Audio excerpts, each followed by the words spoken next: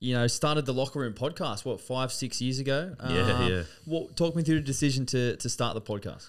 So I've always been a very tech savvy person in the sense of like I love computers, I love internet culture. Um, I used to love gaming, and so I've always been aware of kind of the latest trends in technology or whatever.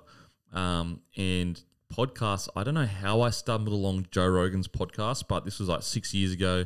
Stumbled along it um, before that actually, before podcasts even existed, 2012. I was in the process of setting up a like a video game news show, you know, where I would like talk about video game news. Sounds fucking funny, eh?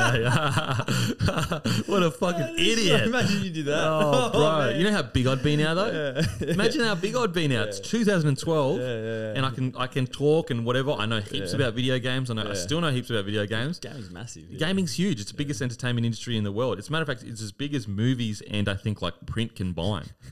Um, and so I actually I was really keen on it. Like really, this is how keen I was on it. Like there was a part of me that was like, like uh, she doesn't know this, but I was part of me because I was in such a bad relationship. I was going to literally sell my house at the time, hope that I could get together maybe twenty to thirty grand, Yep. break up with the missus, and move over to South Korea. Um, just to experience like that, that culture and everything like that, and just I, I didn't tell anyone. I wasn't going to tell anyone. I was just going to do it. Um, never did it, obviously. Um, and then with the, sh- the video game show, like I was like, man, I've got to focus on footy because I was still trying to focus on. This was before, might have been mid 2011 because this was before I went to the Dragons. Um, and and then my you know mental health just continued spiraling. 2012 was probably my worst year mental health wise. Yep. Um, anyway, so I'd always kind of loved the idea of having a show or talking about things on the internet. Um, and then the Joe Rogan Experience um, podcast, I stumbled upon upon that, and I used to work like really long days in the above ground mines where I'd put my hard hat on and have my beanie, and then I'd have wireless headphones hidden there, and I'd go do these monotonous as tasks. Like usually, if you didn't have music or, or things to listen to, you just head is off. Like I can't believe how people do it, and I would just listen to podcasts all day, just all day. So so much so that I don't listen to Joe Rogan anymore. Um, I haven't listened to him for years because like I've, I've kind of heard everything he has to say.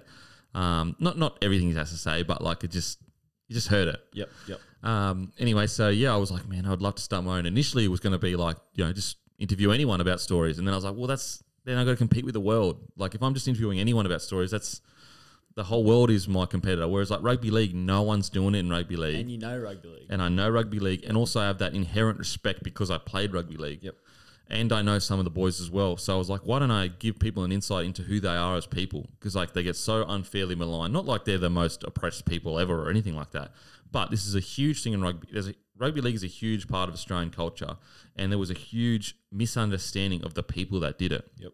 And so I just was like, I want to give the community that loves rugby league an opportunity to see these guys as they are as people and just break down the stigma and the because the power back then wasn't in the players' hands. The media could create whatever narrative they wanted, whether it be good or bad. You know, I've said this a few times, but how much do media's if you could say take someone's name, let's just take um, I don't know, Andrew Fifita. How much money has the media made off putting his name in a headline? How much revenue has been generated? That's all well and good when they're building up his profile. That's great. But then how much money do they make? They make the same amount of money when they're building up their, his profile as when they're destroying his profile. Yep. His his value goes down when they write a negative article that isn't true. Their value continues to go up. So he's actually not only are they making money off his brand, he's losing money because his his um, personal brand is taking a hit. Yep. Yep. Yep. And so I was like, this is just unfair. Like, how's that fair? Like, fair enough if if if they're using his name to build it up, but where's the responsibility if they're tearing him down with a fake story? It's different if he did something wrong and they've got to write about it. Yep. Um, and so yeah, I just wanted to give people an insight into these people, like players as people.